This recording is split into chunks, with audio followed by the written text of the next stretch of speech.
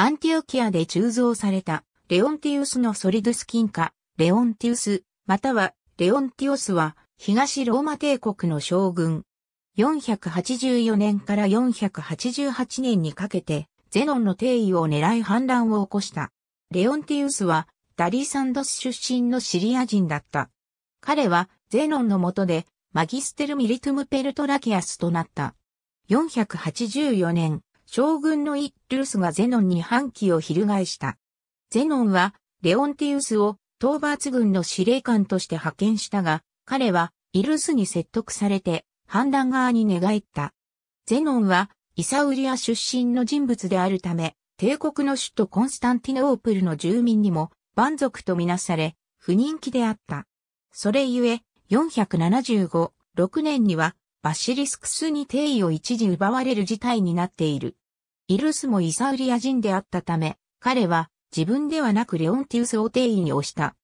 484年7月19日、先生術師たちが吉日としたこの日に、レオンティウスはタルッスで皇帝即位式を行った。先帝レオ一世の未亡人、ウェディナがレオンティウスに定冠をかぶせるとともに、東方関係やエジプト関区の総督たちに基準を求める書簡を送った。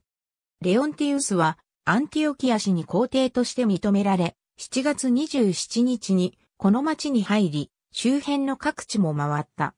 ゼノンが行動を起こす前に、レオンティウスは交換を任命し、効果を鋳造する余裕もあった。ゼノンはローマ人と東ゴート族からなる討伐軍を派遣した。司令官テオドリックとスキタイ人ヨハネスは8月8日にアンティオキア付近で反乱軍を破った。イルスとレオンティウスはパプリウス城に立てこもり、反乱兵の残党と共に4年間耐え続けた。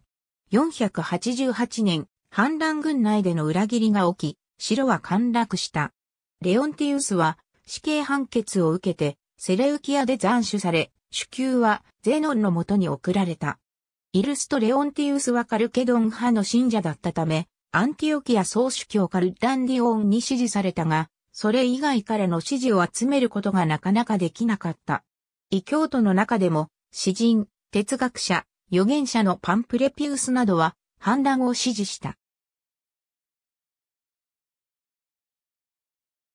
An astrologer, close to Zeno calculated, a horoscope based on the coronation date of Leontius, claiming that Leontius' astrologers had the wrong horoscope, as it did not consider certain elements, among these Justinian, an ex, honorary consul, who had followed Illus and Leontius in Antioch, and soon after had been proclaimed comes sacrorum largitionum of the usurper Jones, Arnold Hugh Martin,ジョン・ロバート・マーティン・デイル、ジョン・モリス、アイスティニオネス語、プロスサポーラフィー・オブ・ザ・レーター・ロマン・エンパイアー、ボリューム1、ケンブリッジ・ユニバーシティ・プレス、1992、0から521072336、P645。ありがとうございます。